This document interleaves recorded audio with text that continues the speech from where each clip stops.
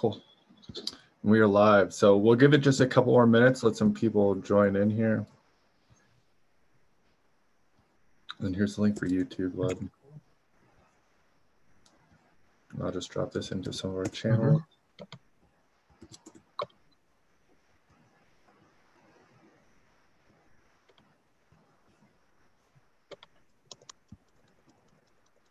Cool. Welcome everyone who's joining us in from YouTube. Give it a couple minutes. Let some let some people join in here. Hey, Cigar, Alexis. Cool. Thank, thanks a lot for, for joining us. Um, we'll get started here in you know about about one minute. Really excited to have Gleb from uh, T Systems joining us today. Talk about everything that they're all the cool stuff that they're working on and, and how they're powering Chainlink infrastructure. So should be a pretty, pretty exciting talk. Yeah, hello everyone, guys. Super excited to, to talk. Also excited about a more, let's say, more interactive Q&A session afterwards to yeah, answer yeah. questions. Uh, you're, you're, I know that your SmartCon presentation was definitely one of the one of the like the top top commented and uh, responded in the in the survey afterwards. So so people people really enjoyed you stepping in. I know that you you even stepped in like last minute with that one too. Yeah, I'm yeah but it, yeah, it, it, was last minute, but not really. Like, I mean, there was, uh, anyways, we were prepared to talk about this thing. So uh, we have a lot of discussions about this internally anyway. So last minute was not such a big deal. Yeah, I love I love your background too that you got going on here. Thanks. I, I mean, I had it before, but I thought maybe like not change it. I mean, yeah. Yeah. No, it's looking good. I guess we are in a community which doesn't I mean, yeah, it depends. I, I would say people don't really take themselves too seriously, which is a good thing. Uh, so that's, I guess, that's cool about, I guess, overall crypto community as a whole. So. Yeah, no, it's good. It, it's nice seeing that coming from uh, like the enterprise side of the crypto world too. You know, good, good, gives us help. Cool. Well, thanks a lot, everyone who's joined us today. Really excited to have Gleb Dudka of T Systems joining us a little bit about this presentation. Gleb's uh, going to go into a little more details about his presentation at SmartCon. Uh, you can definitely watch that one afterwards as well in, in our videos here on YouTube. Um, and then after that, we're going to have an interactive Q&A session. So if you have questions, make sure to drop them into the YouTube chat, uh, be able to pull them and then moderate those from here.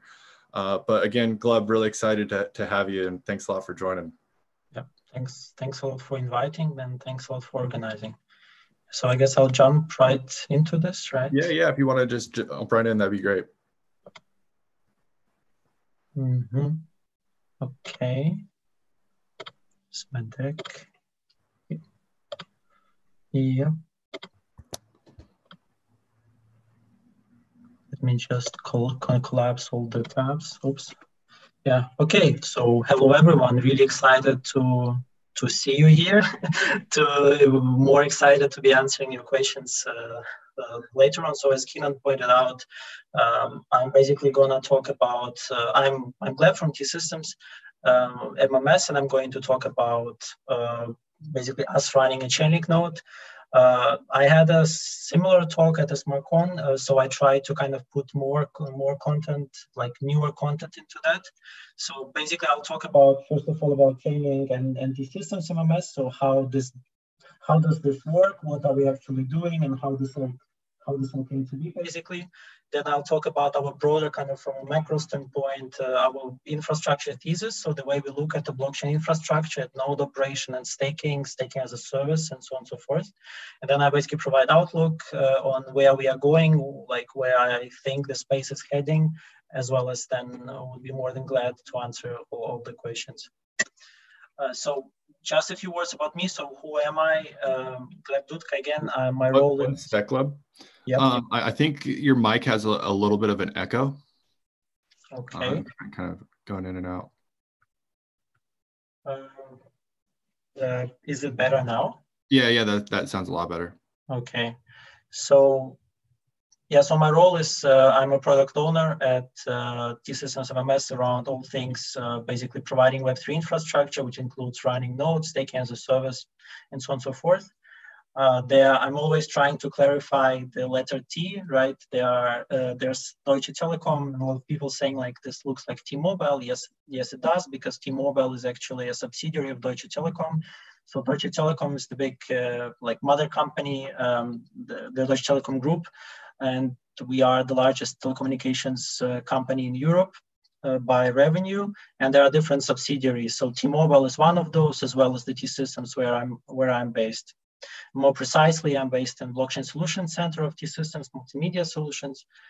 And basically there's a lot of a lot of companies and they all obviously interconnected and 100% subsidiaries, but just to like make it clear, um, what I find pretty exciting about our blockchain solution center is that we are basically working very closely within the digital trust unit, which combines security, data privacy, and blockchain together. So when you look at the Web3 infrastructure, so running nodes and especially like business, like Oracle related business models where you provide data, I believe this is a very nice basically match uh, because we can just not purely look at things from the blockchain, but we can just basically also look at all those business models from the very deep security uh, standpoint, as well as uh, from, from the privacy standpoint. Okay, so basically to, to wrap it up and some things have changed since I last talked at uh, SmartCon. So where we are today, we are currently running, uh, we are live on 33 price feeds. So last time I talked was five, I guess. So it's like more than what 600 percent uh, growth, which is which is nice since last time.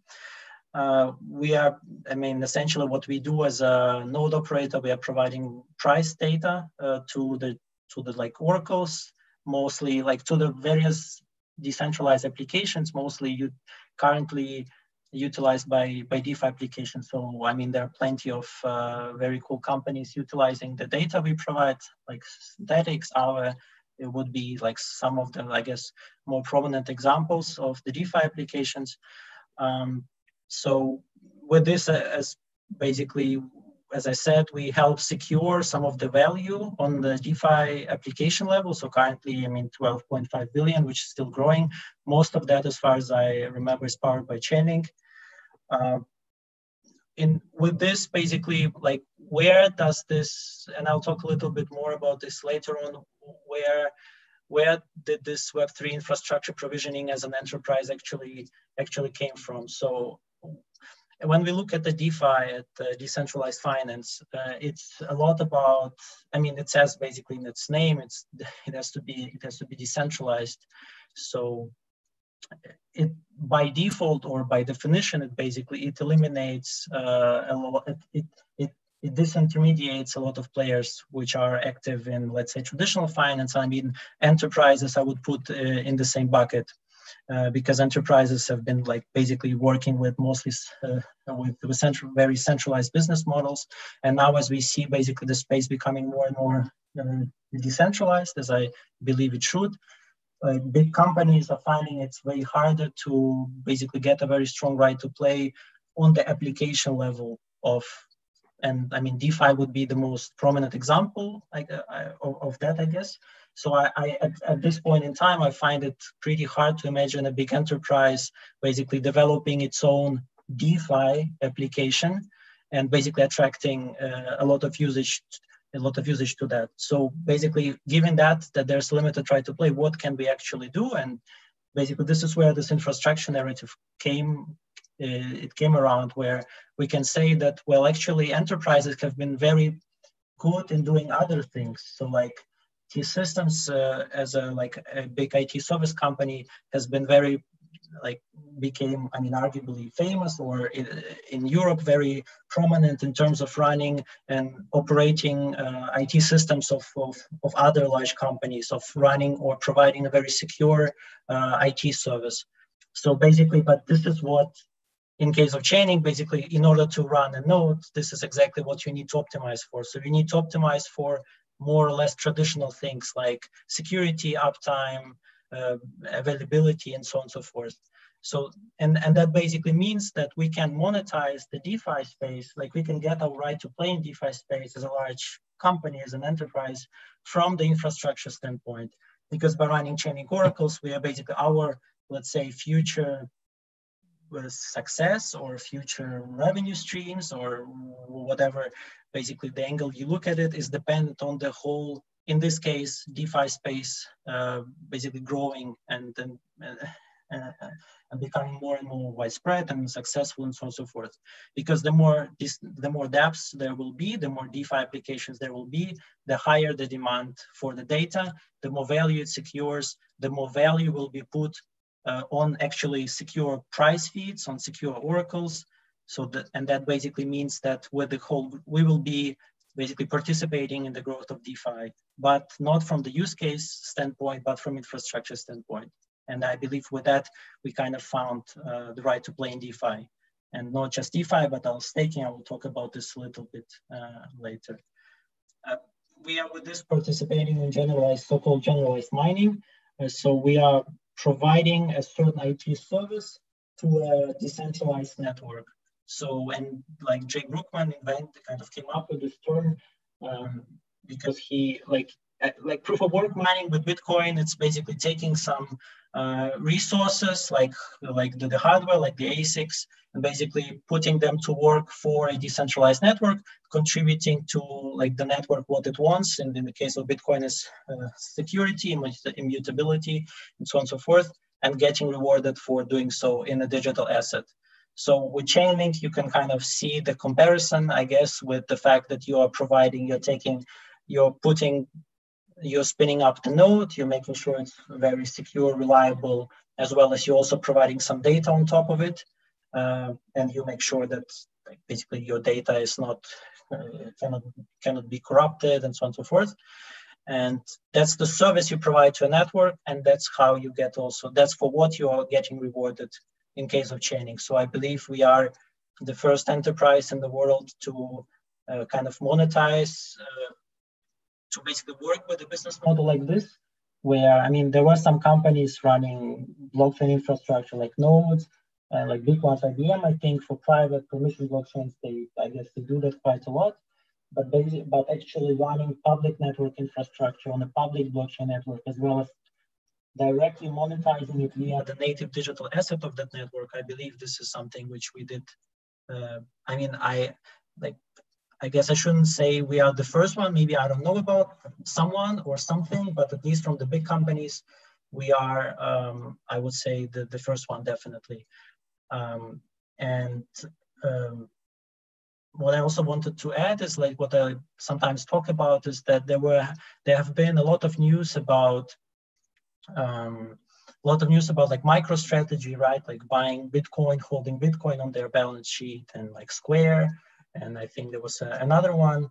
But I mean, basically, actually, our company is also, I think we are like in top, we are, I think 85 in a, like standard S&P, like number 85 or something. But I mean, essentially by running these business models, we also hold assets on our balance sheet. In this case, like Ethereum would be one example, right? Chainlink. So, but no one is uh, yeah, no one knows about this, which I, I sometimes find uh, interesting. But I mean, I guess in the future, as we basically scale up, I guess it will become a more, let's say, more prominent uh. So next stage is staking. Basically, we are like everyone, I guess, looking forward to proof of stake implementation, as well as we also we are active on the staking business models, not just for Chainlink, but for other networks, and we are going scale through those um, as well. Uh, just some numbers. I, I, I, don't think I will just give like the full numbers. I mean, anyways, a lot of people, I guess, on market.link, people can see our note. Uh, they can see basically the statistics about like the earnings and so on and so forth. But what I can say uh, at this point in time, this has been uh, like a profitable business model. So we are unlike, so we do as a corporate, we do have a lot of pressure on the business case side. So we need to we need to basically do business which is also making us money uh, we are not running like a proof of concept to make to see like to test things out but we're actually running a viable like business case and we want to scale it up.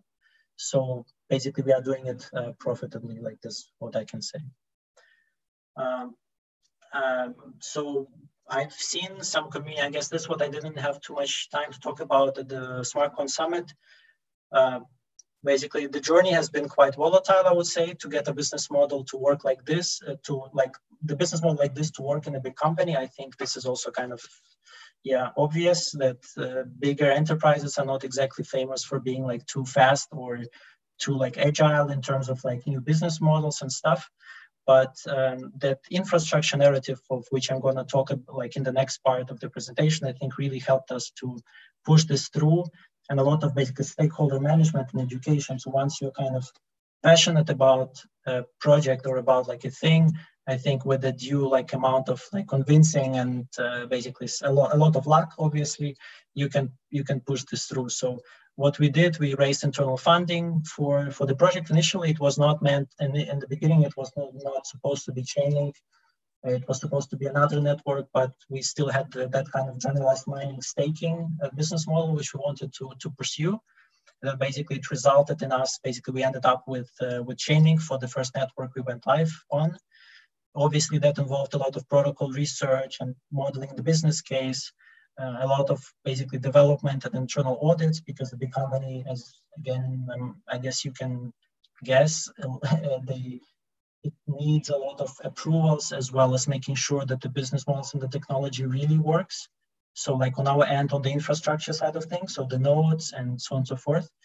Um, it involved coming kind, kind of talking about stakeholder management. It involved making a lot of departments happy, which are the hardest to make happy in a big company. So I guess those could be like tax legal most of the time. But again, we we had we had a pretty some pretty cool guys on, on board uh, with this who supported us with getting basically this thing through uh, through the corporate door. Uh, so partnering onboarding, so we are working with custodian and the broker licensed uh, in Germany. I'll talk about this in the next slide. Also, the, the, probably the very hard thing was to include all of the new processes which come with such a business model. Like, for example, uh, Chainlink node, we need Ether to basically feed the data into the network and we're getting link out of it, right? So basically having those assets, like having those new processes adopted or like somehow included in like our ERP systems or something like this has been also a huge uh, a challenge for us, especially when like the blockchain, it doesn't, you cannot send the invoice to a blockchain, right? So that's that that that led to quite some funny discussions uh, internally. So obviously we launched our Chainlink node, I guess in the very like probably in the worst time to launch a Chainlink node. Uh, we launched it right into the FUD campaign. So I guess uh, people know which one I'm referring to, uh, as well as uh, basically the DeFi was just taking taking up. So at some points the gwei were just astronomical.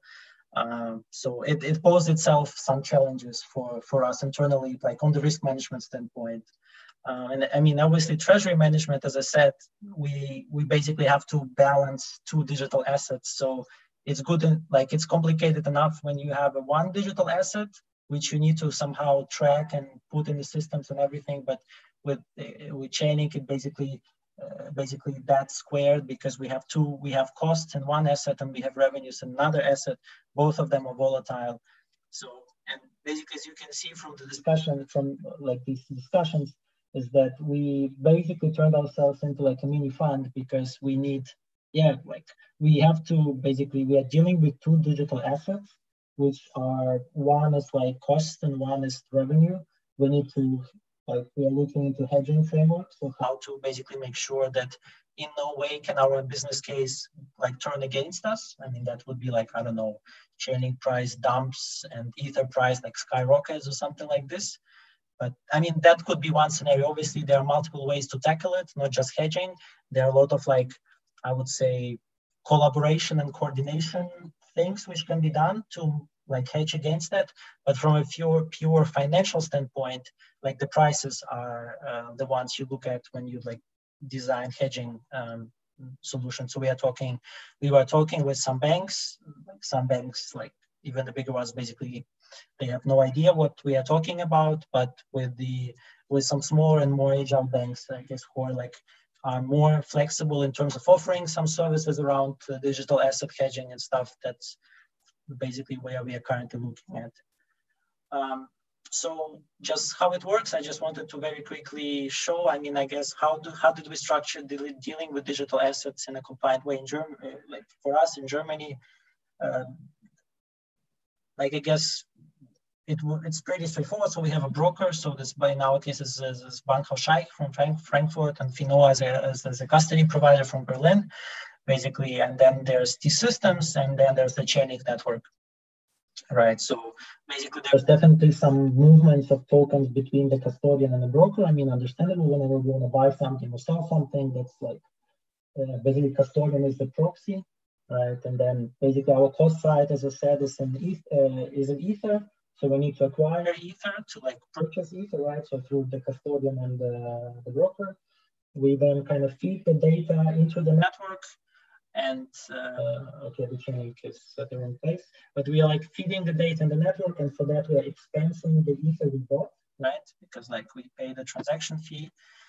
In the next stage, we are and for providing the data, what we earn is a link, uh, like link tokens, which we then in the next step will one like can or like may or may not sell for back to euros to kind of cover our expenses or something like this. Because I mean, as a big company, as I pointed out, we still have a lot of these kind of business case considerations which we need to fulfill from the management standpoint. So, and I will also refer to that what how it can change in the future in the next uh, slides. Um, yeah, blockchain infrastructure. So this is kind of uh, talking about. I, I, used this picture uh, before. So kind of hearing all this, people might think, oh, like uh, they are like hyping or something, you know, like they are doing the business, this business model because I don't know, there's a lot of money in the market, or like we are in like whatever DeFi bubble or whatever they're hyping it up. I would disagree with this. Um, I would disagree with this for multiple reasons. So what we what we published not so long ago was like the infrastructure, like Web3 blockchain infrastructure thesis, where we argue kind of try to explain from the enterprise standpoint how like how this thing work maybe a correction just to be like super correct i published it from my personal account. So uh, this is not really that that might or might not be representative of the official view of the company right? So just so just just in order so that no one then comes to me and says hey like you wrote this in your blog article. Why did you write this? or something like this. But in general like what i can say is that all of our team is basically aligned with that vision and uh, with that um, kind of where we are going with this. So the way we look at this i'll try to make it shorter because i want to keep uh, some time for for, for q&a so why providing blockchain infrastructure? So we live or will live in the world of many chains. So there's not going to be a single chain uh, basically doing everything. So and each chain has its own purpose and its own goal. So Bitcoin, arguably, a, like I don't know peer-to-peer cash or digital gold. Not going to go into like that uh, topic. Uh, and then Chainlink, for example, connecting uh, let's say off-chain data in a reliable way with uh, on-chain smart contracts, like bridging that basically physical and digital uh, world gap. Ethereum coming up with like EVM, whatever, whatever. Uh, and basically, in order to fulfill that goal, all of these networks rely on a distributed infrastructure. So a lot of nodes, otherwise it wouldn't be a blockchain, it would be a centralized system. So there needs to be a decent uh, number of nodes which are run reliably and, and, and securely, right? In this case, it's nodes, validators, and so on and so forth. Uh, and all of these blockchains basically are designed in such a way as to define good and bad behavior. So the good behavior is what gets you reward basically, and the bad behavior is what like either doesn't get you a reward or gets you punished in terms of like slashing, right? And here, basically out of this comes this generalized mining concept where you are just you're looking at the network, you're looking what is good, what does the network considers to be good behavior, good service, good activity, and you're you are basically providing that and you try to minimize or completely avoid ever running into like the bad behavior of the network. So this like this, many people refer to blockchains as incentive machines. Like that's basically what they are. They just program what is good, what is bad, and uh, and describe which rewards you get or which rewards you lose for either of those. And they're thus kind of an economic agent, like autonomous economic agents or sometimes like referred to as commons, right? So blockchain can be also look like at the like river where, the, where there is fish, and you can be like you can you look at the river, you see there's fish, and you decide, okay, how do I get that fish? And the laws of physics or whatever I don't know, physics, nature give you the the way to get the fish out. You build a fishing stick and you go to the fish and you fish. And blockchains network are in the, in this sense kind of similar where there's a blockchain network, there are tokens in that network, there are rules of the game written in whatever white paper in the code, which define this good and bad. And then you look at that and figure out, okay, so how do I get those rewards? What I need to do? Uh, and then you need to build a fishing stick in this case, like a node validator, and you build this in accordance to laws of like physics, or in our case, like laws of blockchain, whatever. Um, and basically that's the comparison I think, which is like pretty easy to kind of grasp. Um, there's, it's very hard for a new network to bootstrap infrastructure, pretty straightforward. Uh, as I pointed out before, why we believe this to be our even core business is because in terms of providing secure infrastructure, it's uh, not there's not so much blockchain in it. It's uh, more or less uh, traditional DevOps security, which is like paramount, which is very important.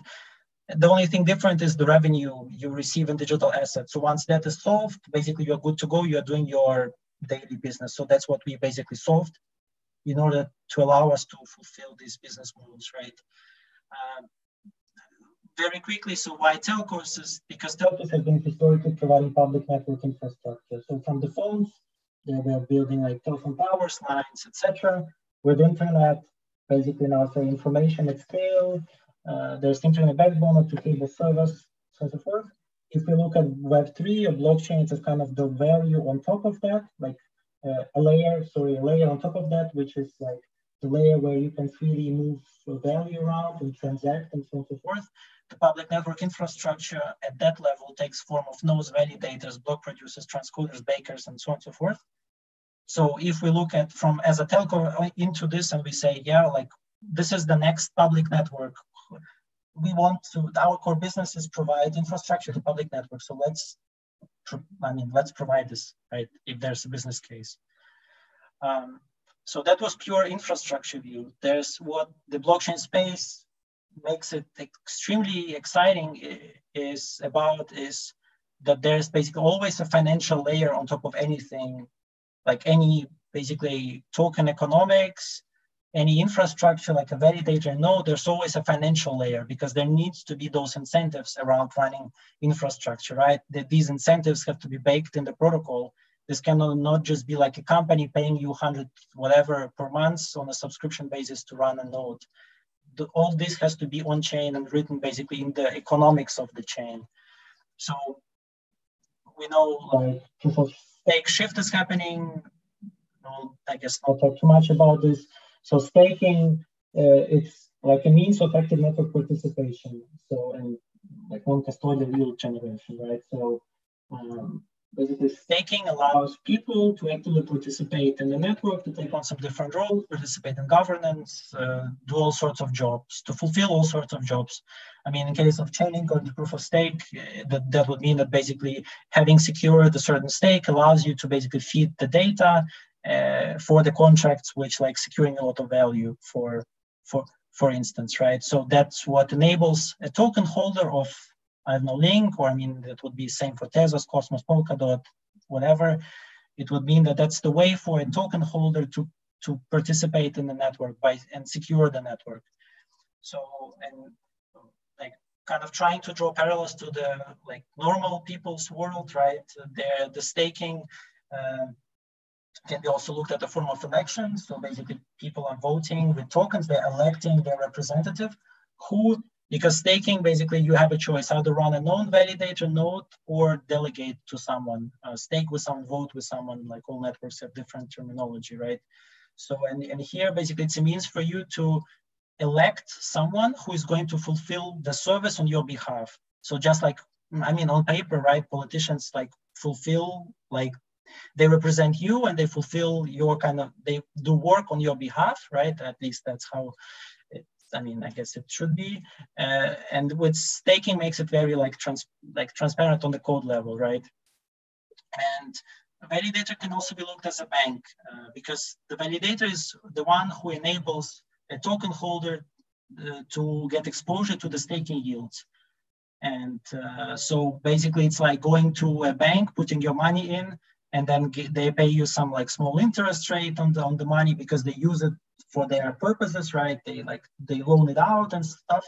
They, they do some work with the money, right? So basically here it's the same, but it's non-custodial, which is key, right? Because we are not getting the tokens, but we are just getting the right for the token, and we are fulfilling some kind of work on your behalf as a token holder uh, with that uh, stake.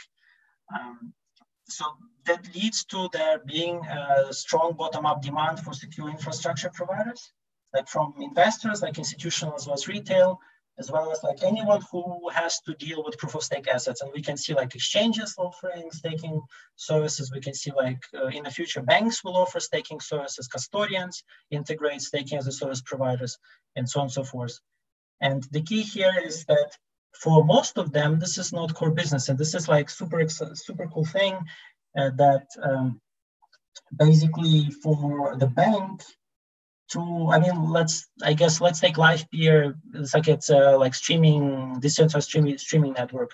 So you need to stake your lpt tokens with a like Livepeer like orchestrated transcoder and they do video transcoding so the video transcoder fulfills a very specific technological like it service but it allows you to get yield like it's not core business of a bank to run to transcode videos but this is a core business of the bank to provide yield so there's this conflict and that means that IT companies are now going to kind of eat into the bank's business, in my opinion, in the future. So once uh, like the crypto grows, so a lot of basically IT service companies will be way more positioned to.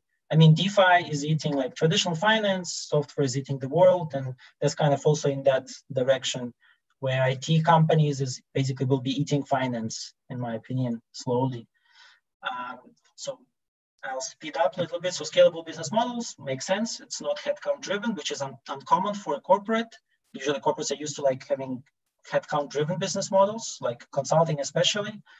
Um, growing market size as well, like the whole crypto market, the whole like proof of stake market, especially Ethereum going to ETH 2.0. The whole addressable market for staking and providing secure infrastructure is growing. Market chaining is growing. So Basically, there have been some significant investments in blockchain infrastructure providers from leading VCs. Um, sometimes if you run a staking service or you generalist mining service, you're getting exposure to the uh, assets at a lower cost basis. So basically, like you have a choice, either go to the exchange and put like, let's say you have 100K, you can go and buy a token like Link for 100K. That's one option at the market price. Or you can potentially spin up the node and earn this and put this 100K into the secure node operation, into securing like the feeds and earn the link. And if you do it profitably, that by definition means that you're acquiring the token at a lower cost basis than if you were just to buy it on the market. And that, that this often leads to situations where early staking service companies for new networks can earn the tokens at a cheaper cost basis than what the VCs paid for, like in seed round, which is by itself a very powerful like yeah different uh, notion i don't know mechanic right i'll skip this one. I kind of talked about this and as well as in the conference. So uh, this is one which i like to talk about is there's this concept of uh, network lifecycle investing. Again have to give credit to Jake Brukhman uh, he came up with this concept. Uh, basically, it says that the uh, networks, any centralized network goes through a certain life cycle. So there's an early stage where this, the assets are not liquid, they're maybe not yet live, the blockchain, the mainnet is not live. The assets have a very strong like VC style character. They're not liquid and uh, basically this is an early stage, right? Then there's a mid stage where the mainnet is launched and then there's this whole uh, infrastructure needs to be bootstrapped with reliable node operators, professional infrastructure providers, and so, so forth. Assets become liquid. And it's all about like governing the network. It's all about bootstrapping, uh, providing all of those services which are needed for the network to basically get started, like to get traction and so on and so forth. And then there's a late stage of the network where you have the like the public assets, uh, like the assets become more, uh, let's say, more liquid. It's really and it's really about building use cases on top of a network And all of these stages are interconnected and like reinforcing another because if you're a VC, but then you're also building the use cases, you are kind of contributing to the value accrual to your token because I mean, if you build a cool business case which creates a lot of value, then if, and if the token economics are right, then you can expect some value basically accruing to the token. And the same as mid stage, if you have invested in the early stage as a VC, you can use these tokens as enabler for you to fulfill like those opportunities, like in staking, right? You can you invest early, and this is what, the, and then this is your own stake, which you have to like put up as collateral if you run a validator. Like some networks require you to put a self bond, like a Tezos, for instance, right? Uh, and I believe like we as a corporate right now are more more or less like in the second in the mid and late stages of this, right? We are we want to run secure infrastructure and we potentially would want to build like use case because we do have like this like big company and a lot of like B2C and stuff like this. Uh, and but in the future, that's where I would want us to go is to capture all the three things, right? So if like that's a very simple thinking, like if you're acquiring a digital asset at a lower cost basis than the VC would, or the lower cost basis than if you were just to buy it on the market, then why not just hold it? Uh, like you are getting the asset anyways, then why like why would you sell it? You you would want to keep keep onto the asset if you believe in the network, if you believe, and I mean I guess that's the basic prerequisite to participate in network you believe in, right? Because I mean otherwise it's a very short-sighted kind of uh, bet. Uh, yeah, I'll, I guess I'll skip this. This just basically quadrant. We can run validators ourselves, like Chainlink would be the right quadrant at the top. We are we are the ones running the node. We can also run it as a service on behalf of a bank, custodian, etc. We can do this for public networks, but also we can kind of do this also for permissioned and private networks. The business case there is not as transparent because it's not on-chain business case, right? But still, those are kind of the business models possible. Where we are going, so we are going to continue scaling the, like our Chainlink project, we are going to add new networks.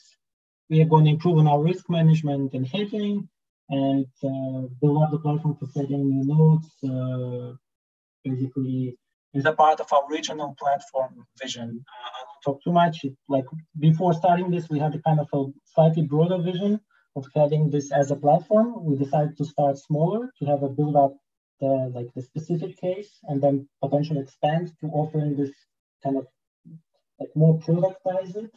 But yeah, that's um, maybe something which comes in the short to midterm.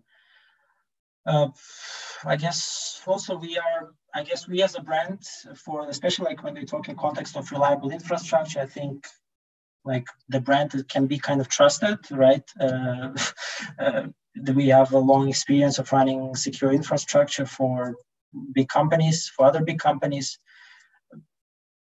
yeah, so not not that much talk. I mean, if we are providing infrastructure, I guess the whole package basically comes uh, handy with the brand security, certificates, compliance, uh, like regulatory, secure regulatory environment, so on and so forth. As well as we are also actively looking into like the ways to add value because especially in the public proof of stake space, there's a competition for like for staking as a service providers. There's this so-called race to zero fees where the providers are very much competing on fees. And so there have to be a lot of value added services which you provide in order to capture the like bigger share of the market. So we believe there can be some, and we believe we are active in some in some of those already. Uh, yeah, next step, support new layer ones and uh, expanding our, like from the financial standpoint, right? So maybe hedging, maybe kind of moving into the whole life cycle investing, um, yeah, so that's that's where we are. Uh, that, that's that's some funny funny uh, like screenshot I really like. So that kind of summarizes it a bit, right? Uh, what are the major benefits? Like that, that's definitely one, I guess. So basically, being able to like sit here and talk to you guys, I guess this is kind of also additional benefit which comes with dealing like with innovation, uh, like very kind of innovative business models. Uh, so for, for, for which I'm thankful for like the team, uh, for everyone basically who supported and helped to get this thing going. Um, so feel free to reach out to me. Uh, feel free to read the infrastructure thesis, which uh, which are published. Um, yeah, and I guess we are also on time quite well. So let's just jump into the Q and A. Thanks a lot for your time. Awesome. Yeah. Th- thanks a lot for that, Gleb. That, that was a great presentation. yeah. People, people are loving that, that last slide. Uh, cool. Yeah. So uh, I have a few questions here from uh, the audience that I think like the big one is, and you kind of touched upon this. What is like, where, where's the data come from um, that, that you guys are, are serving? Yeah, so that's, I guess, I also saw the question somewhere on Twitter. So the data we are basically taking some, we have multiple API providers, which with whom we are working. We all integrate, we are constantly working on integrating new API providers. So all of those like pre premium subscriptions, so we can make sure that we have like a full, let's say, transparency and data service. And I think the way and what I like about Chainlink, the way it's expanding kind of it, it, it's kind of you guys trying to get rid of the single data API redundancy. So before some node operators were like working with one API, but now basically everyone has to integrate multiple. So basically to either make sure to switch them or in case there's some kind of uh, deviate like huge deviation on one. So there are like different ones you can basically switch onto to kind of minimize the potential negative impact on the whole network. So that's basically that's essentially what we are doing. We are adding new APIs and uh, we'll add more in the future, I guess. Cool. Yeah. Th- thanks a lot for that answer.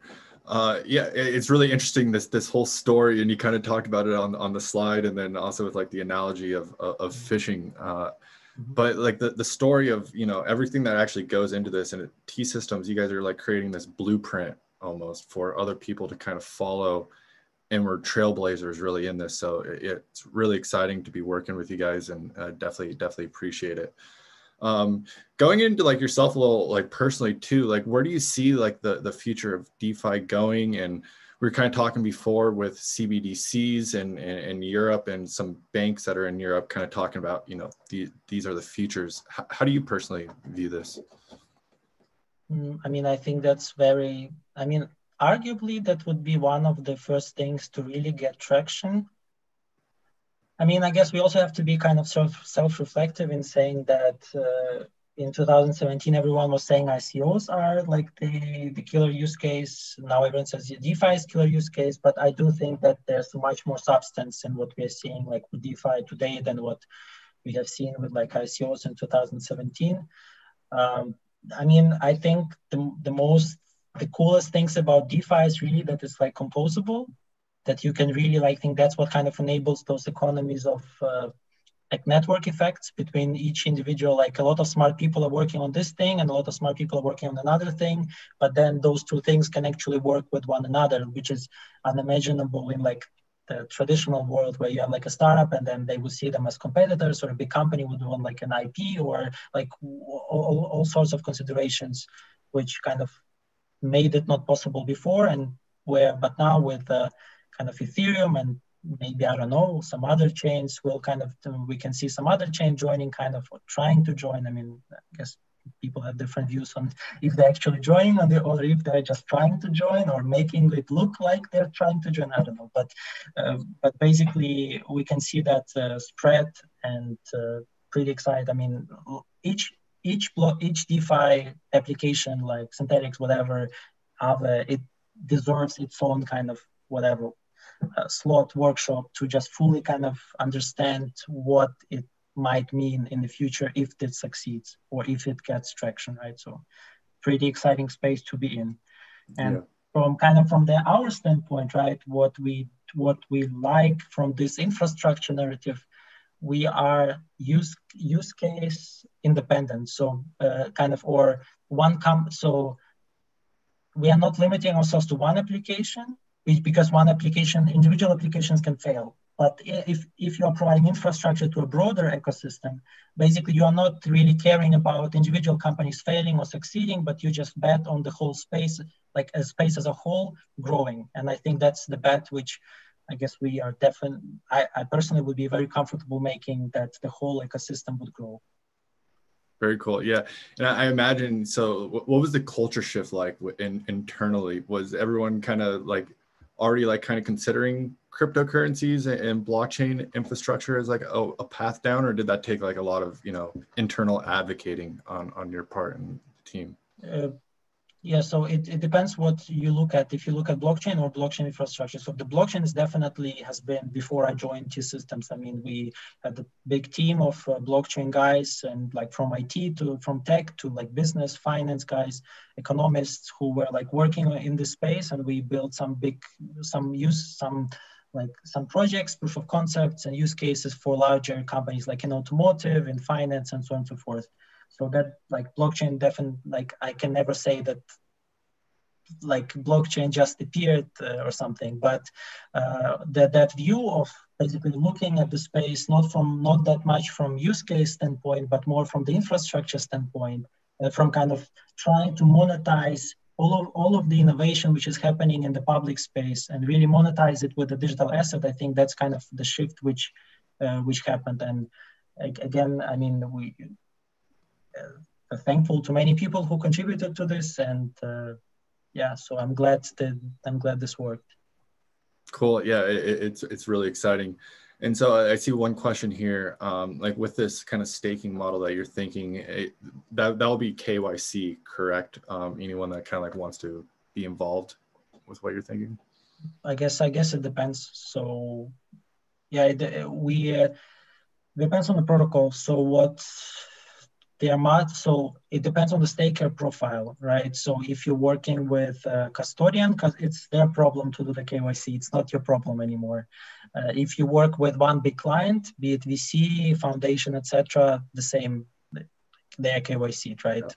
So it really depends what you are addressing, and there are multiple ways how to uh, limit the scope of people you are addressing. And I guess yes, that's definitely the concern would be from our lawyers is what happens if like we cannot stop anyone using our service, right? If it's like staking as a service.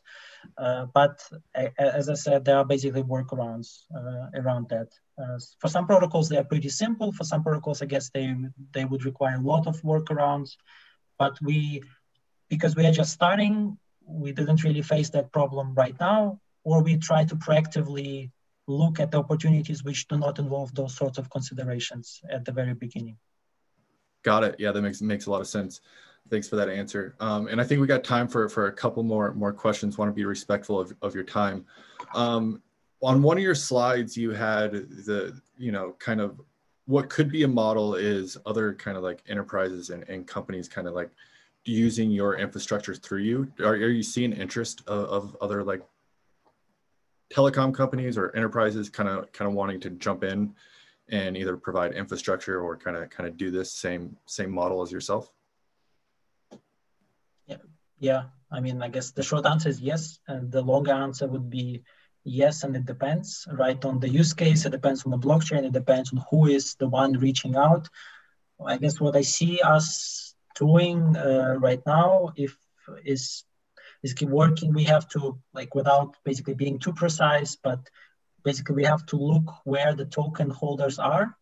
And then if those token holders might not like might want to run their own infrastructure but with like our knowing that we are the ones uh, running the backend basically. So that, cool. Yeah. that would be the way to look at it. Exciting times. Um sweet. Uh yeah i think that you covered most of the questions that we had um, and the audience had within the, the presentation is there anything else that that you wanted to say um, that that maybe um, anything anything else? Uh, here, here's a good question. Um, like, how, how do you prevent like unauthorized reselling uh, of T-Systems data yourselves? Unauthorized reselling of T-Systems data. What we we are right now, we are not a data producer in our own Right. So we are not at this point in time. We are providing the digital asset prices, so we we cannot produce the digital asset prices ourselves. Like that would be like uh, whatever a bank or clearinghouse, whatever. They would be the ones kind of producing the data, which they can then s- sell. uh, if we are thinking about like some potential future use cases, like whatever, like supply chain, if we are running a supply chain use case and we have like then T-Systems is the one running the supply chain or somehow integrating with the supply chain, then we would be the producers of the data. And I guess then that's when we will have to think about that problem. Right now, I that, that's definitely not a problem which can happen to us right now. Maybe it can happen in the future. Um, then I'm not sure how, but yeah, I mean, that's actually an interesting question because if we are feeding the data on chain, then it's visible for everyone. And then, but I guess then there are a lot of privacy, a lot of people are working on privacy and uh, we'll see first people have to come to me with a very profitable, nice blockchain supply chain use case, and then we can talk. I'll make sure to sure to relay that happens. Uh, that's not really an issue. Yeah, cool. Um, well, again, Gleb, if people want to follow you on on Twitter, uh, where where um, should they um, go, and how, how do they follow you guys' progress? Yeah, so Twitter is my personal one is uh, my personal one is is Hey Gleb uh, like hey and my first yeah my first name. And for any like t-systems related of course follow like t-systems uh, mms follow t-systems international follow deutsche telekom whatever. Uh, all of those are basically entities we are affiliated or subsidiaries of so uh, if you if there'll be some big information from the blockchain you will definitely see it propagating basically upwards so yeah uh, and I would encourage to read the infrastructure thesis. We worked like this took a long time to come to come to that, and took a long time to kind of structure the thinking process behind this uh, in in such a like in such a way. So any feedback for that, like more than welcome to implement, discuss, whatever. Awesome. Well, really appreciate you coming on here, Gleb. Uh, the community really enjoyed it, and everyone who's viewing in, uh, I'll make sure to drop those links in this afterwards um, and share the video. Also, stay tuned on the the YouTube. We'll be coming back with a, another another meetup with ChainGuardians, and you guys can help uh, design their next characters here here in a few minutes. So, again, Gleb, really appreciate it, and uh, have.